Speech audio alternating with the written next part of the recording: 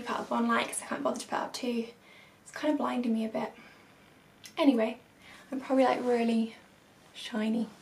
Um, hi, so I'm like a proper vlogger right now and um, thought I'd do a video rather than a blog of some of the stuff that I use when I was self-catheterising. Um, I'm sure all vloggers talk about self-catheterising. It's the in topic.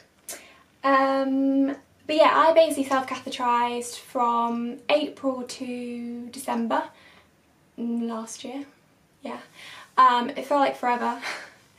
um, I personally did find it really painful and difficult, but that's partly due to the problem that I have. So my urethra goes in constant spasms and grips on for dear life, um, which makes it very hard to put a catheter in or out. Um, I got told by lots of urology nurses that I'm a dream to catheterise, apart from I have a very small urethra, but it's not actually a small urethra, it's actually just because it's so spasmy, basically. Um, so that for me made it very painful, but I know some people get on really well with self-catheterising and literally do it for years. Um, some people can do it standing, like anywhere they go, they find it great. So this is just my, that was just my experience, it was very painful, so don't let it put you off. But then equally, if you're struggling, I struggled for a very long time before I actually admitted defeat. Well, even though I didn't admit defeat, I got sent to hospital with 1,500 millilitres in my bladder and they put my penis in, aka indwelling catheter. Um, but yeah, I kind of wish looking back that I hadn't tried quite so hard just to stick with self-catheterising because it obviously wasn't suiting me. But saying that, the first four months, five months, when I was doing it, I had quite a good run. I had no infections for a while because I was on top of my retention. But it was as my function decreased that I needed to use a catheter more often. Um, and then when I was catheterising, it wasn't fully emptying, so it caused infections and the cycle continued until I needed the catheter. So it wasn't all bad, it just was very hard for me and my function decreased as I progressed with the catheter. So I end up having to catheterise beginning sort of twice a day, morning and night, then maybe a third one midday if I hadn't fully emptied. Um, but then by the end of it I was catheterising probably like six or seven times a day. And even when I was catheterising I was getting out very little. So it was very hard. And I still had that constant pressure to pee. But when it worked and when I had good days um, it was great. And I'll show you some of the standard stuff that I got sent from NHS as well as a few of the products that I personally found helpful at my setup of self-catheterising. So first we'll talk about um, my little setup. So I've already mentioned that some people can do catheterising standing over a toilet. Um, I personally couldn't, again because of my spasms both in pelvic floor and urethral. So I went for sort of a lay back sitting like this position. Um, I sat on the floor and leant against the bath um, with my legs open obviously. It's really attractive. Um, but because I wasn't over toilet and if I didn't, one of the catheters I use had a bag attached but I tend to prefer the other type so a lot of the time I would use one of these, um, the standard hospital sick bowl. Uh, Mum and I just ordered like a hundred of these off Amazon, I think it was Amazon, um, and they're so useful for various sick bowls, pee bowls. I mean, I don't know what else to use them for, mainly sick and pee, but yeah, so that's what I used loads of, and of course you can just pee in there. What's really handy is it's got, um, probably can't see, but it's got like little lines of a rough measurement of how many mils, so it was quite good to keep an eye on generally what was coming out versus in. Um, yeah, so we used those loads, and of course you can recycle these, but they're pee, but you know what I mean. Um, mirror-wise, Mum got this. Again, I don't know where she found it. I think it might be Amazon, but I'll check when I post this. But it's a really cool mirror. So it's the top one is like a 10 times magnifier. Don't ever look in that. You don't want to see your lady bits that close. Like, But the bottom one I use, and it's really good because you can angle it to how you wanted it, and you can also like lengthen it to get the right angle. And it was really stable and stayed up, and even had a light I mean you can't see that I've put it on because it's, um, I probably just blinded you there, uh, because it's um, light, but yeah, so that was really good and I really love this mirror, it was my favourite one. I have various others for travelling, but I'll get into that later. Um, but yeah, that was my best mirror for home.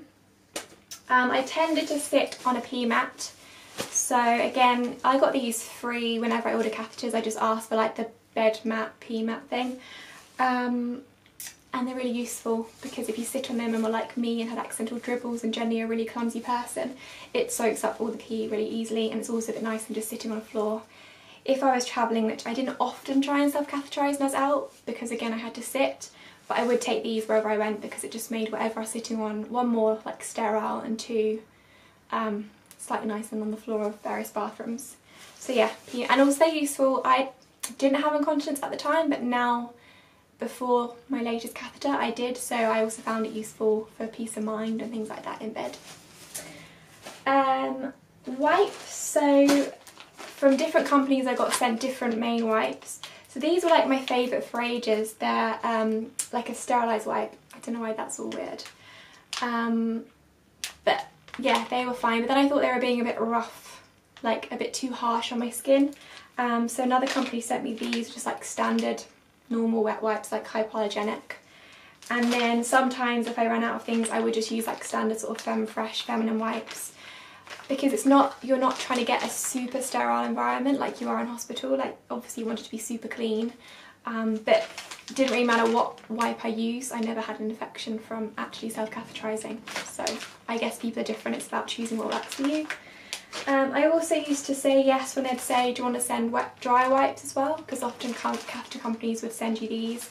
They're like a, um, kind of like a weird tissuey thing. They're a bit softer than just plain tissues. You can wet them and use them as like another wet wipe or you can use them dry to dry up. Um, if you use any of the gels which I'll talk about, they're also handy for that and just general spillage is handy. So yeah, on the NHS you get those free, but I guess it's different if you're watching this everywhere in the world. Um, again, disposable bag, so um, I'd have one of these open from the beginning before I wash my hands. So I set all this up before I wash my hands. Um, and yeah, just you need a fairly big bag because you end up quite a lot of stuff. I would say catheterism or general healthcare stuff isn't the best for recycling and environmentally friendly things because you just can't, you just can't, it's really hard.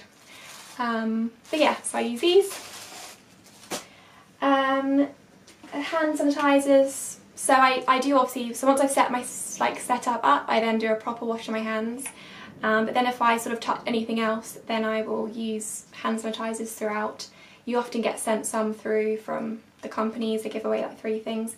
This is my favourite one. I've used, I'm sorry like I'm a pro at hand sanitizers of different ones that absorb the fastest, don't smell, but also like don't, aren't sticky. Um, this is my favourite at the moment, so yeah, just share. Um, and then, so mostly I would go in catheters. so catheters I should do, the most important one. These are the three main ones that I preferred. Um, I generally was a size 8, I think it's like CH, CH8, yeah. But sometimes like this one didn't come in that, so this is a CH10. Um, so that's pretty small. I think it is nearly the smallest apart from going kids. Um, but these all come, like I'd say most catheters from my experience that I've used come sort of pre-lubricated, is that right? I'm sure it does say that. Anyway, they kind of come like in the packet. There's like, you can see that on CD, you can see it's like kind of wet. Um, but if you want extra lubricate, lubrication, um, I got sent this lubricating jelly from one of the companies. As you can tell, it's basically full. I didn't really use it because for me, I found it made no difference at all to what how I catheterised. Um, I would use it occasionally, um, but it more just made a mess but there are things there to help you. This is kind of gross because it's open, um, but my um, urology nurse would give me these and they are a lub sterile lubricating jelly um, and they've got a local anaesthetic and antiseptic in so they're apparently meant to help numb the pain slightly but and they sort of come like this which is what you never would use it would be so wasteful because you would never use the whole thing um, don't worry I'm not going to use this this is to go in the bin I don't know why I still have this in my pot um, but yeah, so you can ask your nurses for things like this if you need more help. Are. The main thing I've learned with catheters in general is that if you don't ask or ask the companies that provide your products or ask nurses, you don't know what's out there because I just, you just make do with what you get given. And it was only till a few months down the line I realised I could ask for different types of catheters. Like I just accepted the first one they gave me. Um, so yeah, catheters. So my absolute favourite was the LoFric one. um, because it had a little sticky bit at the back. So you'd open the first thing first. This would do when I'd sort of wash my hands but before I get really sterile. And then I'd stick that on the bath like just here. And so it'd be really easy to grab it when you have clean hands, just take it out. Um, I'll take it out now. And as you can see, it's kind of like wet on the end. Um, and obviously you stick it in and it comes out that hole. So it's really easy to hold. I didn't get pee on my fingers. All the vital things. Um, and they were like just quite neat and compact. Um, I then got a different like brand to try. Um, these are the Actreen Minis um, and it's very similar although it hasn't got a sticky bit on the back which is why I prefer the purple one but you just rip it open, pull that out and then it's like this and again it's like pre-lubricated. Um, I found this one a bit fillier, I don't know, I don't never like this one as much as the purple. If I was just doing straight cath into the my pee bowl I would use the purple one. Oh, just dropped on me.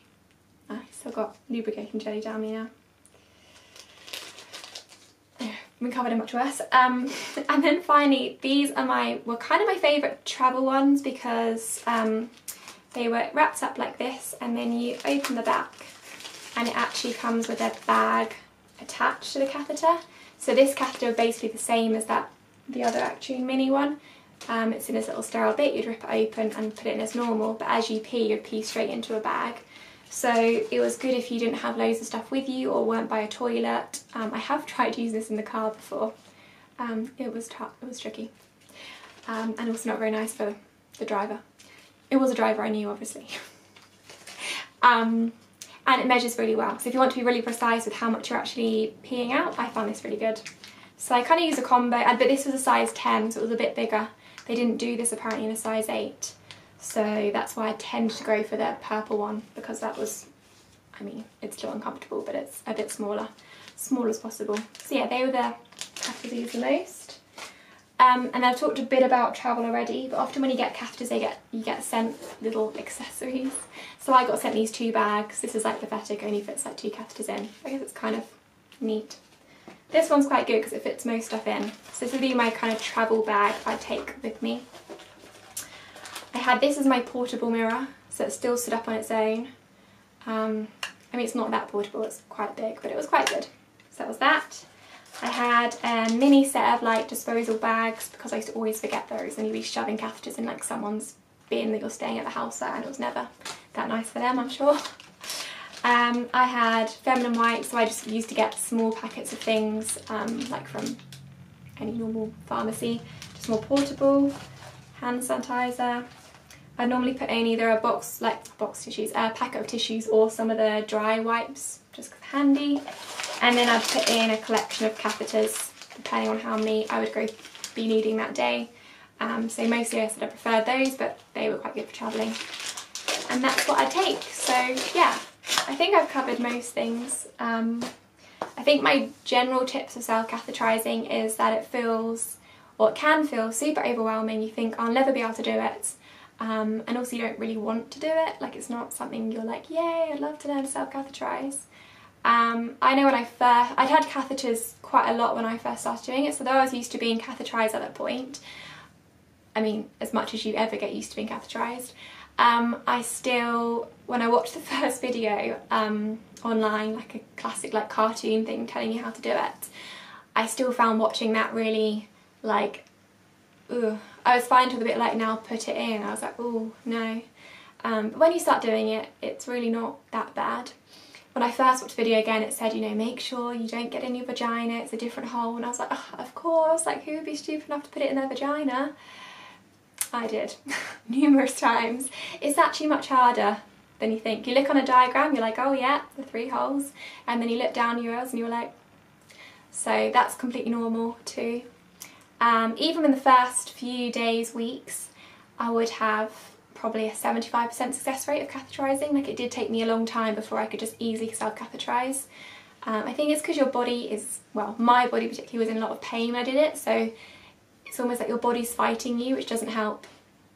Um, but yeah, once I got in a routine of it, I got all the stuff I needed. I used to have these two little white boxes in the bathroom, like all set up, so when I would go there, whatever time of day, Um, it would just be really quick to get things out, get ready, wash hands and do it. Um, if it was a good catheterisation and I wasn't too spasmy, it could be done in like five, ten minutes. If it was a bad one, I'd come out the bathroom several hours later, probably in tears.